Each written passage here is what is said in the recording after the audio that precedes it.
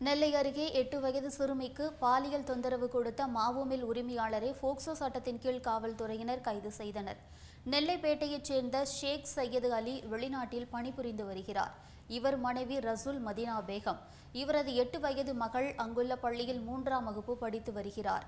பள்ளி முடிந்தவுடன் வீட்டின் அருகே உள்ள மாவு மில் பக்கம் விளையாடுவது வழக்கம். மாவு மில்லை நடத்தி வரும் அப்துல் ரஹ்மான் சிறுமியை தனது அறைக்கு அழைத்து பாலியல் வன்கொடுமையில் பல நாட்களாக ஈடுபட்டு வந்தான். இந்நிலையில் நேற்று மாலை விளையாட போன சிறுமி வீட்டிற்கு அழுது கொண்டு வந்ததை பார்த்த சிறுமியின் தாயார் விசாரிக்கையில் அப்துல் ரஹ்மானின் பாலியல் தொந்தரவு தெரிய வந்தது.